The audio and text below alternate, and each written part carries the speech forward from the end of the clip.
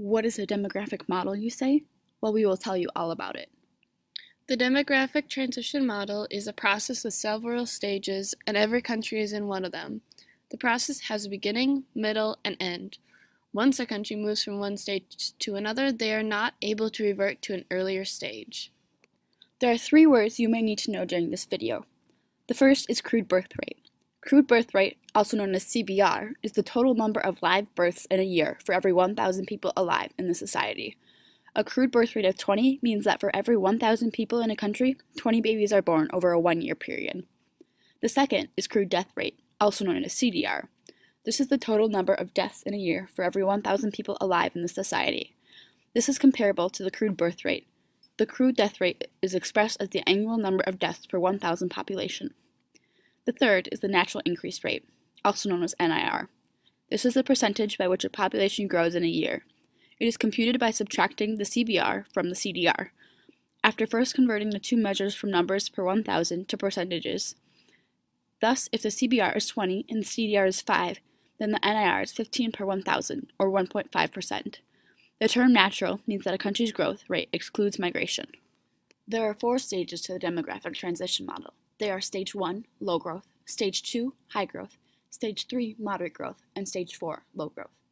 Most of humanity's time has been spent in stage 1. Stage 1 includes crude birth and death rates, which vary considerably from year to year. Over time, however, the natural increase was essentially zero and population remained unchanged. During this stage, people depend on hunting and gathering for food. Around 8000 BC, the population began to grow rapidly. From 8000 BC to 1750 AD, the population grew from 5 million to over 800 million. The rapid population growth is due to the agricultural revolution. The agricultural revolution is the time when human beings first domesticated plants and animals and no longer relied on hunting and gathering for food. By growing plants and raising animals, humans created a more stable and larger food source of food. Due to this, more people were able to survive. Human population still stayed in, stayed in stage one after the agricultural revolution because food supplies were still unpredictable. Farmers prospered in regions with abundant harvests, and the population expanded, but when under unfavorable conditions arose, low food production occurred. War and disease also caused us to remain in stage one. No country remains in stage one. Every nation has moved on to at least stage two. The book provides the example of England in its beginning stages. During the year 1066, the Normans invaded England, and the country's population was about 1 million. 700 years later, the population was only 6 million.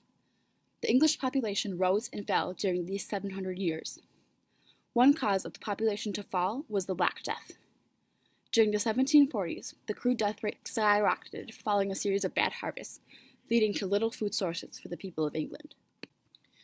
The next stage is stage two. During this stage, there is a high growth in the population. Also during the stage, the crude death rate decreases and the crude birth rate remains the same. More developed countries entered this stage after 1750, resulting from the Industrial Revolution.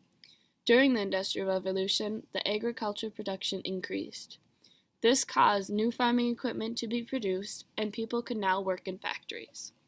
The steam engine, mass production, and power transportation all helped to contribute to this stage. Wealth also caused increased sanitation, hygiene, sewer systems, and protection from contamination. During the Industrial Revolution, the population increased by 1.7% each year in these better developed countries. The lower developed countries, such as Africa, Asia, and Latin America, entered stage two due to the medical revolution. The medical revolution eliminated the chance of traditional deaths. Vaccines got rid of diseases that previously were fatal. England entered stage two in 1750 and left during 1880. During this time, the birth rate remained high, but the death rate plummeted. These changes marked the start of the Industrial Revolution in England. Due to new production techniques, the nation's food supply increased and generated money that was spent on improvements to public health. Population rose from 6 million to 300 million in England, and this is an average increase of 1.4% each year. The next stage is stage three. During this stage, there was moderate growth of population.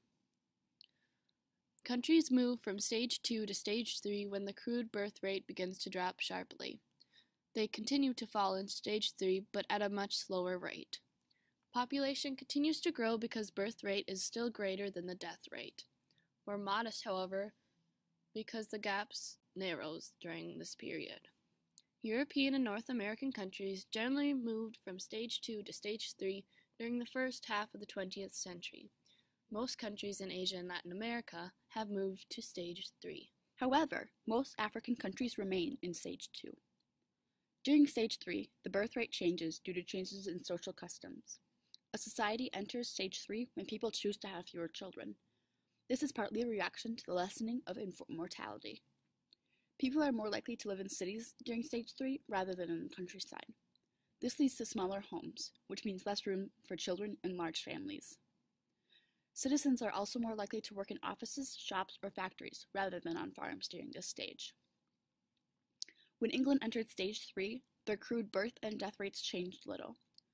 The birth rate was equal to 33 per 1,000 children, and the death rate was equal to 19 per 1,000. Population increased from 26 million to 49 million during this time. This is an increase of 0.7% each year. The next stage is stage 4. During this stage, there is low growth in the population. Countries enter stage 4 when the crude birth rate declines to where it equals the crude death rate. The natural increase equals zero. This means that there is zero population growth. Social customs explain the movement. This is because women start to enter the workforce and take birth control to have fewer children, to also have more time for other activities. Some countries have negative natural increases which means the number of deaths exceeds the number of births. England entered stage 4 due to communist rule. Higher deaths and not enough pollution control caused this. During this time, the crude birth rate was equal to 12 to 14 per every 1,000, and the crude death rate was equal to 10 to 12 per every 1,000. More women were entering their childbearing years, and the population continued to grow by 3 million because of immigration. I know we have talked for the last seven minutes about the falling birth rate, after all of this, you may be wondering what happens if the birth rate continues to fall. Well, I have an answer for you. Human geographers hypothesize there will be a fifth stage added to the demographic transition model in the near future.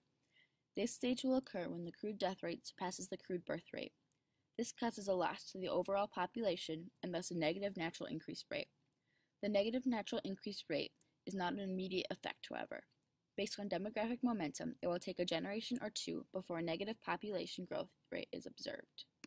Human geographers are uncertain as to if people are persuaded by the high cost of raising a family in cities or the enticing opportunities of employment to delay childbearing. What they do know is that whatever it is, is causing the crude birth rate to fall well below the replacement level in some countries. One of the most infamous acts associated with population planning is China's one child policy. Since its implementation in 1979, China has not only witnessed a decline in birth rate, but also a real demographic challenge, a gender imbalance, which is likely to lower the birth rate even further in the future.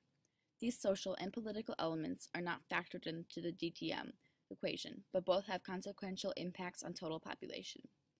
In recent years, a few countries, primarily in Eastern and Southern Europe, have reached a negative rate of natural increase as their death rates are higher than the birth rates, Possible examples of stage 5 countries are Croatia, Estonia, Germany, Greece, Japan, Portugal, and Ukraine. I hope during the last few minutes you have learned something about the demographic transition model. Thanks for listening. Created using Powtoon.